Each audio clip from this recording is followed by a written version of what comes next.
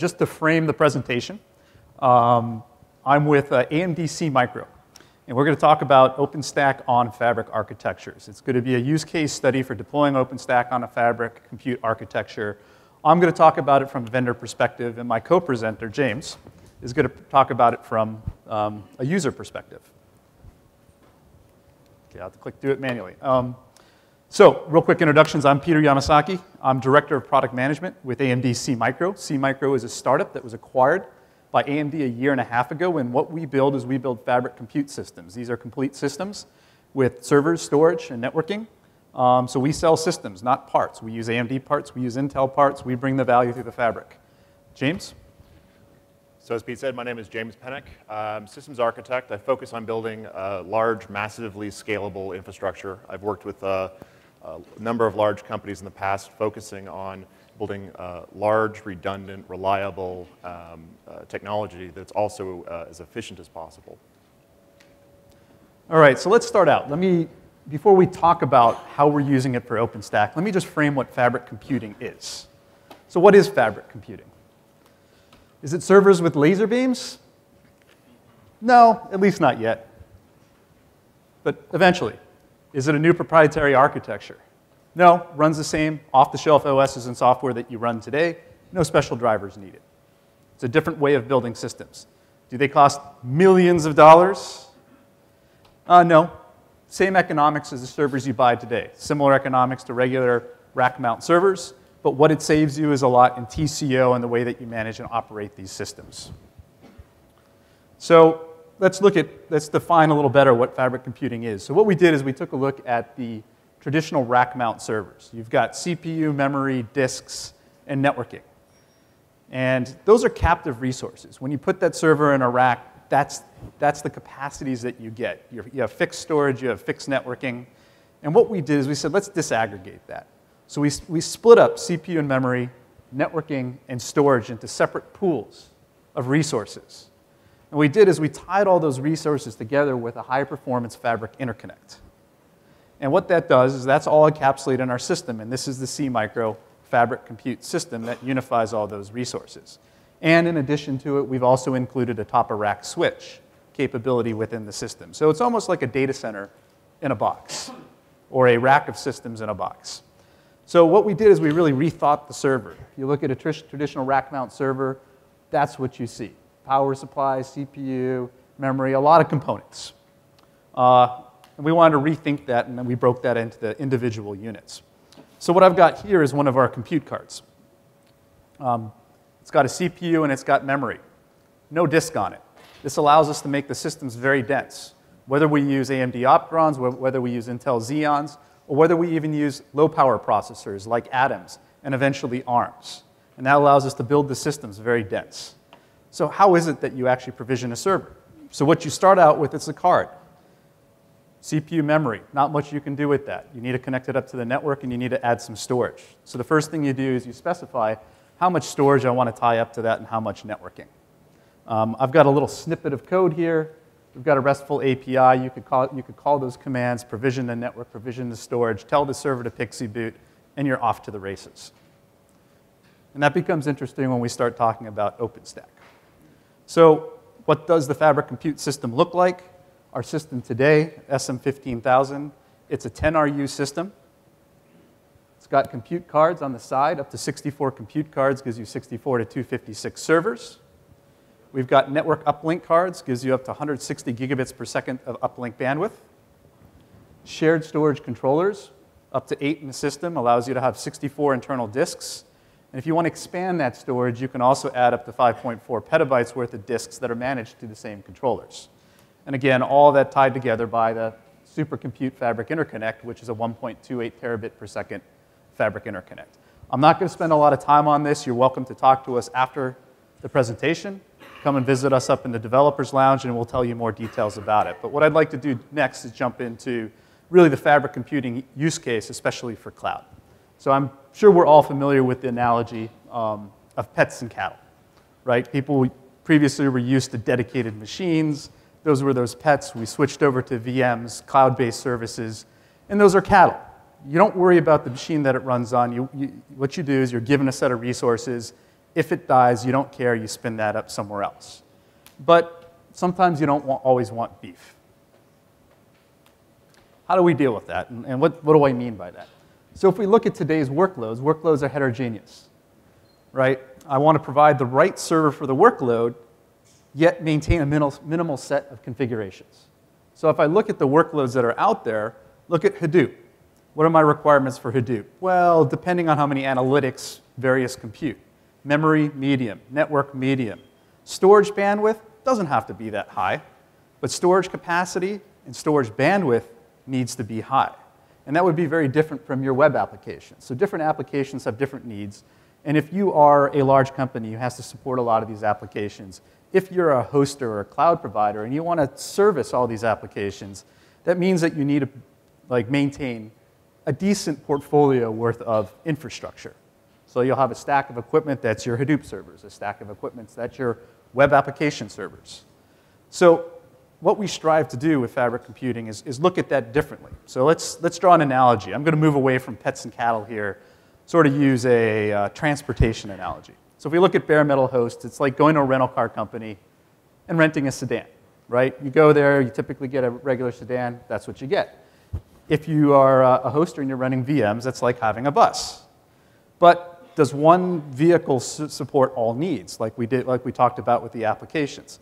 Well, no. Sometimes you want something a little faster. Sometimes you want something a little bigger.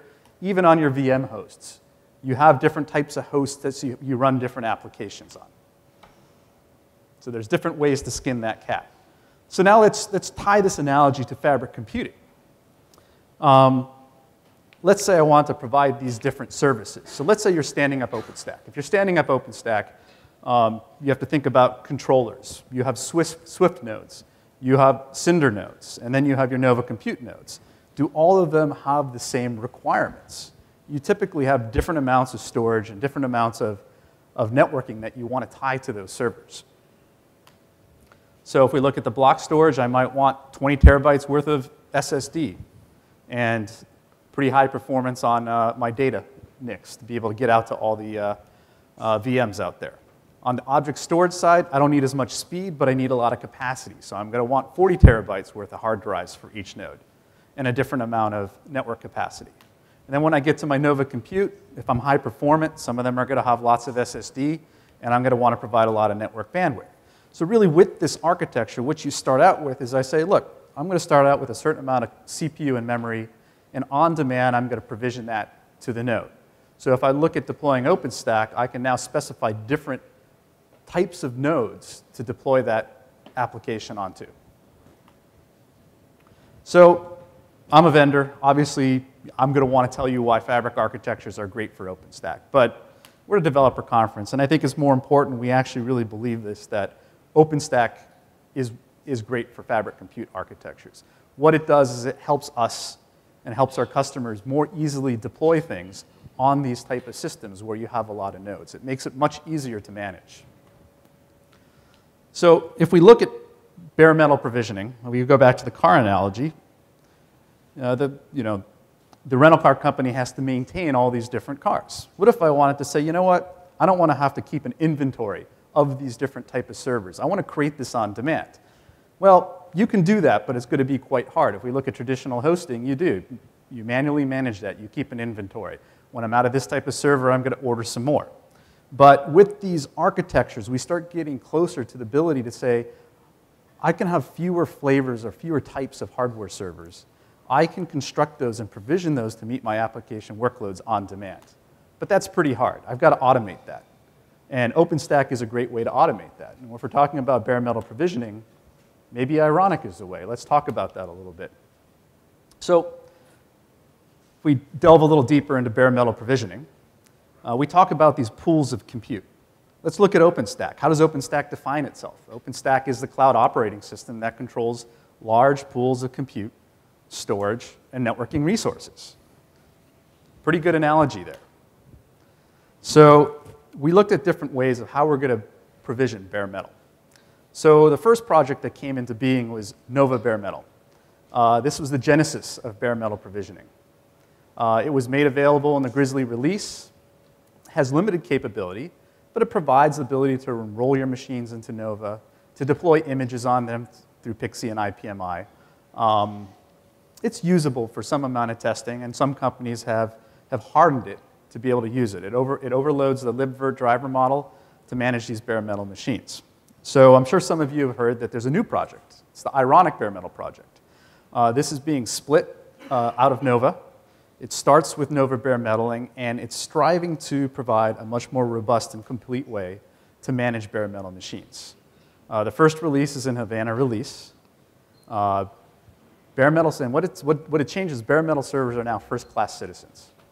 It's designed to support capabilities that are unique to hardware, not just VMs. The way they did it before is they've overridden, uh, they basically used the same libvirt and wrote a, uh, a bare metal libvirt driver, but those machines really weren't VMs, they were bare metal machines. So this project now makes those bare metal machines first class citizens and is designed to really treat them like bare metal machines. So let's talk a little bit, a little bit more about bare metal provisioning. So how do we do that? Traditional servers and rack mounts, uh, your storage and networking was fixed. With Fabric servers, you can now specify that on demand. How does that meet that model? Um, the way people are thinking about it with bare metal provisioning today is it's a rack mount server. When I provision it, I get the storage that's there. I get the networking that's there. So how do we transition this flexibility into bare metal provisioning? How do we support this with OpenStack? And this is what we're exploring, and this is how, this, these are some of the things we want to contribute back into the community and work with the community on. So rather than just talk about it, let's run a quick demo here about what we're thinking about.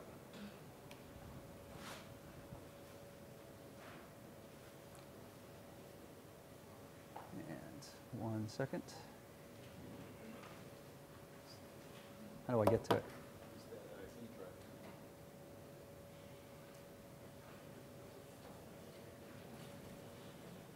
There it is. So we were going to do a live demo, uh, but we realized the networking was not reliable in here, so we did a quick recording beforehand. So let's get it started. So what did we do here? Well, the first thing we did is we wrote a script that will automatically scan, it'll attach to the chassis management and scan all the servers that are eligible as Ironic nodes. So we just kicked off that script.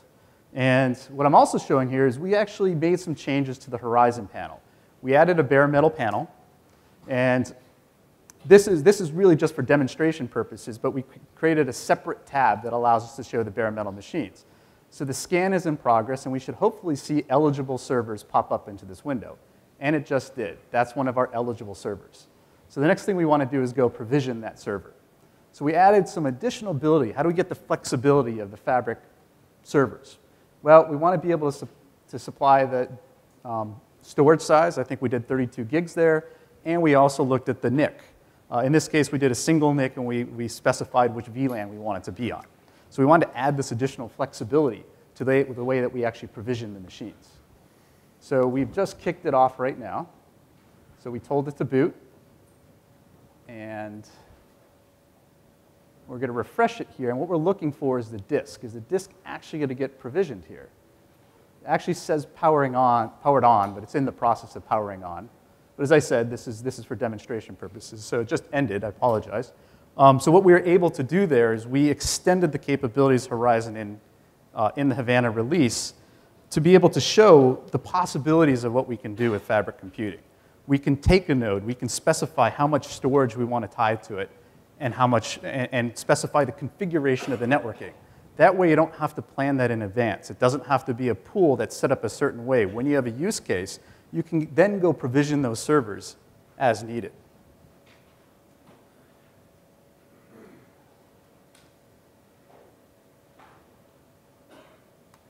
Okay, so really what we did is we attached the, the, network, I mean the storage, and we attached the networking. So what's next?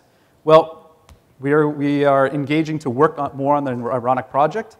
And we really want to work with other hardware vendors. I think there's other companies with similar architectures uh, where you can dynamically provision the networking, where you can dynamically uh, provision other attributes. It can be even as simple when you provision a bare metal machine. How do you specify the RAID configuration? So we want to work with other vendors to figure out how to do this right in the Ironic project. So there's a bunch of meetings today in the, uh, in the developer sessions uh, on the Ironic Bare Metal project. The PTL for that is Devananda van der Veen. Um, So if we look at our storage provisioning, well, we were able to demonstrate how to do that directly through uh, pass-through commands, vendor pass-through commands that we added to uh, the Ironic power driver. But maybe that really should be part of Cinder so that we use Cinder to, to provision those volume nodes. But some of the things that we need is we need boot support for Cinder volume. Uh, on the network provisioning side, Neutron is probably the right, right way to do that. So we need to work with the, with the Neutron group to figure out how to specify that for bare metal provisioning to be able to, to, to at configuration time, specify the network configuration. So I'm going to switch gears here. The next thing we're going to talk about is how can Fabric architecture help you with deploying OpenStack. So you know, this is really the model of OpenStack. It's a lot of pieces, a lot of components. Uh, how many people here have actually installed DevStack? Show of hands. All right, quite easy. Uh, out of those people, how many of you have actually now installed a real production release on multiple servers? A bit harder, right? And everybody works to make it easier. So if you look at, if you're, if you're going at it for the first time, is it easy to set up OpenStack? No, not at production scale. What are the things you need to consider?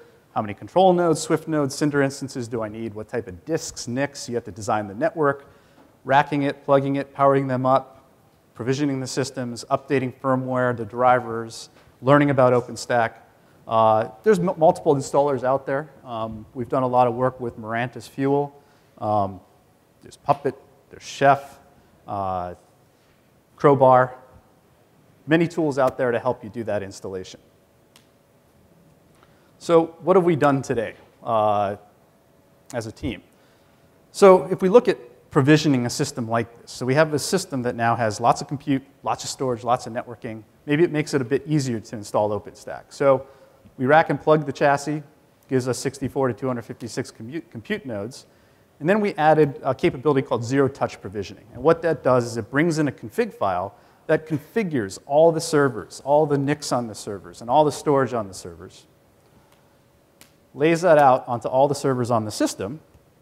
Takes about 40 minutes to run. It's all automated behind the scenes. Uh, and what we've selected today is we're working with Mirantis Fuel to install other components of it. We wanted to make this easier and make it repeatable. Using Mirantis is a bit manual because we're still using the GUI interface, so we've provided a set of instructions that our team uses and some of our, our customers use to configure that on a system. So that's sort of where we are today. We can kind of go soup to nuts in about four hours. Uh, but we do want to make that faster. And then we can scale that out to multiple systems. So where do we want to be? Well, if we look at installing the system, we want to be able to rack it, plug it in. Today it's a couple of hours of provisioning time, but we really want to get to the point that as soon as you plug it in, it DHCPs, brings in a configuration, and everything else is provisioned automatically. And that's where we'd like to get to. Um, so what are the various ways to get to that? So you can always automate those, those installation scripts. Um, we're looking at ways to do that. I, I, think that's going to be the best way to do that over the next six months. Um, but we're pretty excited about what Triple O, OpenStack on OpenStack, is talking about. Uh, what we like about it is um, it gets the industry behind one way of installing OpenStack. Rather different companies coming up with workflows and recipes with different installation tools and different scripts, maybe we can, we can use OpenStack itself to install OpenStack, and we get behind that. But I think it's still got some ways to go. So if we were to build that out, we'd rack and plug the chassis. Triple O would then provision the undercloud. And once we have the undercloud provisioned, we can now provision the OpenStack clusters on top of that. Ideal, looks easy on paper, but there's still a lot of work in the community in order to get there. So one last thing I'll talk about is power and space. And that's a big thing that, this, that uh, an architecture like this saves you. Because I don't have fixed resources, I only have to provision what I need to use for my hypervisors or for my applications. So really, how much can this save you? How much power and space can we save there? Well, as I said, the disaggregation of resources helps you save. The integration of the switching saves you space. And with this architecture, we're able to deploy very densely microservers as well too. We can explore new architectures like ARM processors. But I think a lot of that power savings is also going to come from OpenStack itself.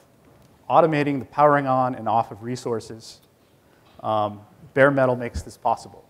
But we'd like to see the tools that automates that within OpenStack. So when you don't need nodes, they power down. When you need that capacity, even your undercloud, dynamically being able to scale that undercloud to add more resources on demand, scale them up, and eventually scale them back. Um, you know, maybe we need, need tools like DRS, which is commonly used in VMware, to allow us to, at, at periods of, of low demand, re-aggregate those VMs somewhere, and then use bare metal provisioning to shut down those servers until that capacity is needed. So I think we have a ways to go, but I think uh, OpenStack will really help us realize those capabilities in a fabric architecture. So Sure, we'd like to give some definitive numbers. Um, we've worked with a number of customers. Again, it really depends on what architecture you're comparing it again. When we go into a customer, oftentimes we're replacing a legacy, uh, you know, uh, legacy infrastructure. So it's easy for us to make big claims. We've saved 2x, 3x the power. But we really want to compare ourselves to, to uh, similar architectures today. So I think by you know, applying some of this, these, these fabric capabilities of consolidating your resources, assigning just the right amount of storage, getting the density, the better aggregation in the system, and we're seeing somewhere between 20 to 50% savings. But I think a lot more savings will come, in, you know, come into play once you start getting more of that automation into OpenStack for managing those resources, spinning them down when they're not needed. So if we look at the density, let's imagine a few things here. What can we do with infrastructure as a service? Well, if we took four of these chassis in a rack, what does it look like? Well, that will give you 256 Opteron or Xeon servers or 1,000 Atom servers. It give you 16 terabytes worth of memory. It's about 40 RU total. And how much power are you going to burn? About 13 kilowatts on average. Pretty good density. Now let's look at it for object storage. If we did object storage, we could take two racks with one chassis, build 5.4 petabytes of raw, raw data. It would burn about 20 kilowatts of power averagely, on average, but it really depends if uh, it's cold storage or it's very active storage, obviously. So these are some of the things that we can achieve with this architecture. Um, we think it brings a lot of value to um, uh, companies who are building clouds, both for private clouds, for the ease of deployment, and for large scale-out clouds to help with management, quick deployment, uh, and saving on power and space, because when you're at that scale, those, those items really matter. So I'd like to now change the perspective here and bring up a vendor who's been looking at some of this technology and give his views on how he thinks this helps, uh, what he'd like to see out of the technology, and what he'd like to see out of the community. Hey, folks. So, you know, what, what is the, why do I find this, find this product to be compelling? Working in an environment with hundreds of thousands of servers, what value does this give me? Obviously, I have great economies of scale. Obviously, we run our own massive uh, data centers of our own design. Why would I find these to be of value? One, power savings. Hundreds of thousands of servers. If they're not in use, if you are doing a dynamic provisioning, you can shut these things off. But when you have a bare metal, uh, bare metal resource, these compute cards are only burning about 50 watts. That means that even a well-utilized compute card, you're still not using much power compared to a traditional rack mount host. Uh, the effort of installing hosts in a data center is pretty significant. When you think about pallet after pallet after pallet of pizza boxes coming in, and some guy has to take that, go to rack, and screw in the rails and slide in each pizza box, one after another after another, and then wire them all up. That is significantly reduced with the SeaMicro chassis. Install one chassis, wire it up, move on. You've just, you've just racked 64 servers. Maintenance. If you have, I mean, many of us have come from an operational background. I've had to drive in at 2 a.m. To, to race into a data center to power a machine on or to swap a hard drive out. You don't have to do that with SeaMicro. You don't have to call your smart hands and spend a bunch of money to have a crisis for the on-call to come out and fix it for you. If you have a compute card go bad on you, you can go into the SeaMicro chassis, reassign your vol disk volume to another compute card, shut down the first one, boot the second one. Your host is now back online on a different compute card. You're up and running. Storage utilization for bare metal hosts is actually tough. With virtualization, we're finally able to realize a greater efficiency of use for, for disk, but we still don't get that with bare metal. The smallest hard drive we can buy is 500 gigabytes. And there have been times where we've had to ship one terabyte drives because those were all we could get. With SeaMicro chassis, if you have a low disk utilization requirement, you only carve out as much as you need. And with the scale of a large chassis, the, the economies actually work out. Redundant power supplies um, are actually a feasible and reasonable thing when you have something like a SeaMicro. They have, I believe, four power supplies. Is it six? Uh, six minimum. six minimum power supplies for 64 servers. Now, if you were to ever, I don't know if any of you have ever tried to manage dual power supplies in a massive environment, but it doesn't work. You just give up. You can actually take advantage of that with SeaMicro. And flexibility is important to us. Uh, we, you know, working in a large industry in a large organization, we have times where we have unexpected events. Denial of service attacks, we're attacked pretty frequently. Normally we can soak that up, but if it's a pretty, uh, actually I would say the largest denial of service attack that we ever see would be a media event. Uh, Michael Jackson's death is a good example. A, ce a celebrity passing like that will drive traffic to your site 10 to 20 fold. Having these resources available in a rack, shut, just shut off sitting and waiting, you can flip some switches and bring them all up. So there's a lot that we can, we can realize from these SeaMicro boxes. The API on them makes it easy so we can integrate them with our environment. We're leveraging OpenStack heavily, as any uh, industry, uh, large, uh, large organization should be. And by combining it with OpenStack, we can have this one environment now to manage virtual machines and bare metal resources. But there's a little, there's, there's some, some things we need yet. So it gives us some good stuff, but now being the customer, being kind of the whiny toddler, I want more. Things we still want to see from OpenStack for fabric computing and indeed for VMs as well. Uh, and this, actually, starting one is, is specific to uh, bare metal. So when I boot a bare metal resource using Ironic, I want to be able to use the same disk image that I'd use for a virtual machine as I would for bare metal. So let's say that I have a I have a VM and it's serving traffic, and I think, you know what? After profiling my VMs, I've determined that these would really be better off as uh, bare metal in the fabric computing architecture. Snapshot that virtual machine and turn up 100 on bare metal nodes, and then shut down my 100 VMs. Bare metal comes up, snapshot works, the host resumes what it was, uh, you start serving traffic immediately leveraging heat would be a really big thing for this, where we, we can have a templating engine, where we, an template and orchestration engine, where now we can say, you know, uh, profile and create all these virtual machines or these, these resources into a single service, and then say, great, build me 10 of them. Turn up all the database nodes, turn up all the API servers, everything I need to run my service. In infrastructure, now the infrastructure of the host of these boxes too, we need to look at. So in, uh, in my data center, I need to know what does my footprint look like? How much power am I using? How efficiently am I using the hosts that are available? We have to be able to tease apart also the services we have. So with, the, with a lot of these fabric computing, with this fabric computing architecture, the compute cards can only get so big. So we have to start to examine do we scale out or scale? Do we go wide, do we go deep?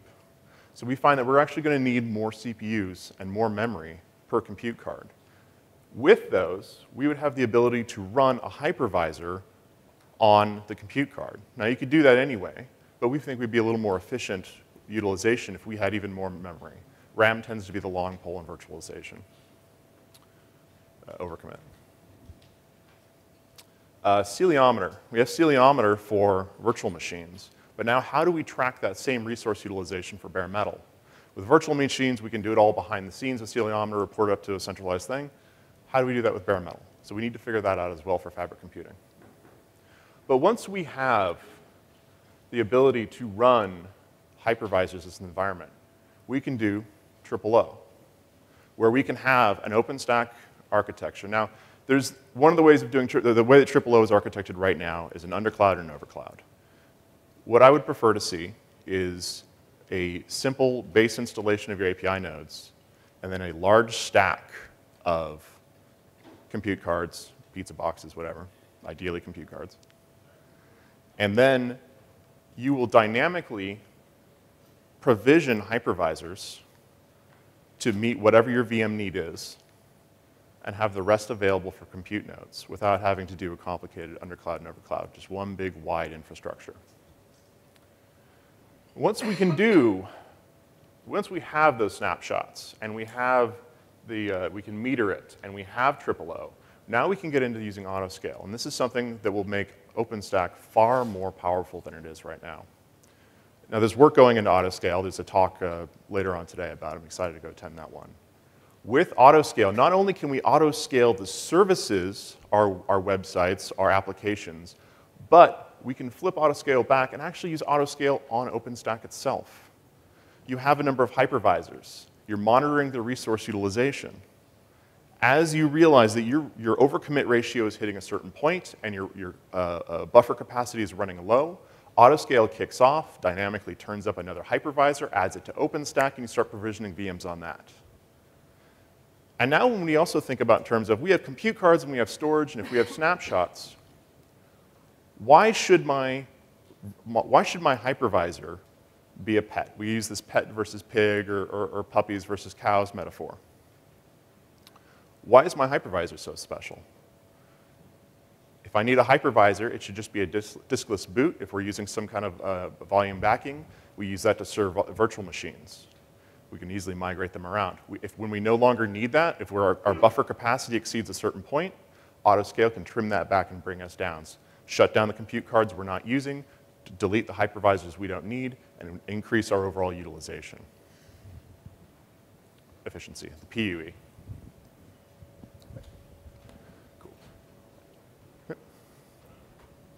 Oh, um, thank you very much, everyone. But do you guys have any questions? Good time to take questions. Yep.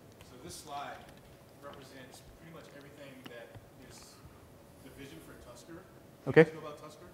Only a little bit. I just found Scratching out. the surface, yeah. Pretty much everything on your slide with uh, Salomon integration, awareness of the infrastructure, modeling, um, the scaling using heat, and it's been fully merged into TripleO.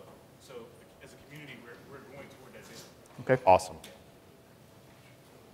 Any other questions? Yep. I was just wondering what question. Oh, sorry, I'll repeat the question. Uh, he, was, he was asking, the gentleman in front of us was asking if we were familiar with the Tuskar project and saying that it eff- is effectively attempting to, its goal is to address pretty much everything on this slide. So that's pretty exciting. It's been, it's officially merged into It's, it's officially merged into TripleO. What is a typical network environment that could uh, enable this architecture to grow? Um, single node and Right.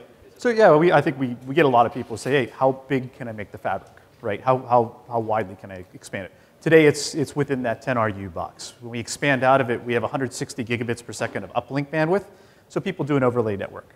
So they'll do a, a fat tree to connect multiple switches, multiple systems together. So that's the current implementation today. But we have people who've scaled out to about 20 chassis in production per cluster. Does your ironic driver talk to the chassis or to the individual parts in the chassis? Talks to the chassis. So we have centralized management within the system. So if you look at the ironic model, right, you have a, um, you, you, you can write a vendor-specific power driver. Uh, IPMI is a default. We do support IPMI, but we also have a RESTful API. So we've actually written our own version that calls our RESTful API to power on, power off, PXE, you know, PXE boot a server, but to also do storage provisioning and network pr- provisioning as well too. So we actually haven't submitted it yet, but we're going to do that soon. Yes.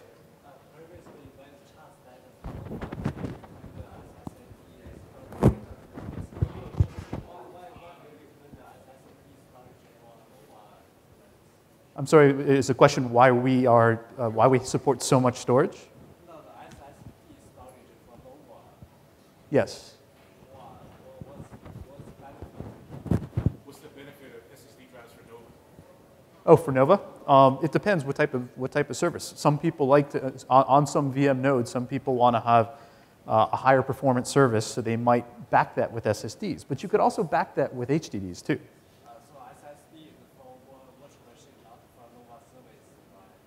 Yes. No, well, if you're, so if you're running on Nova, there's two models. You can use ephemeral disks, which are local, or you can attach volumes and actually have, have those volumes back the storage for your VMs. Uh, people, both people run in different models.